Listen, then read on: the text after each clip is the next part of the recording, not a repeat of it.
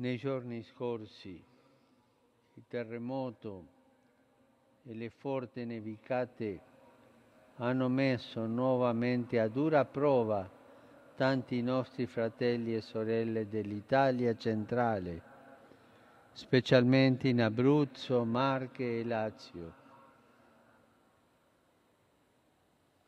Sono vicino con la preghiera e con l'affetto alle famiglie che hanno avuto vittime tra i loro cari.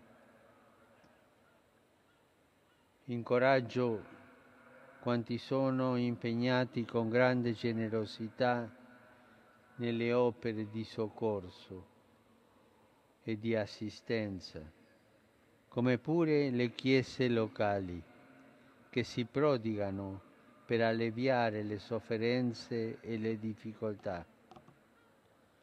Grazie tante per questa vicinanza, per il vostro lavoro e l'aiuto concreto che portate.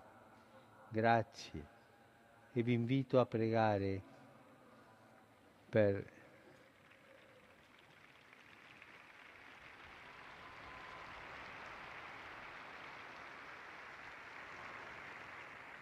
Vi invito a pregare insieme la Madonna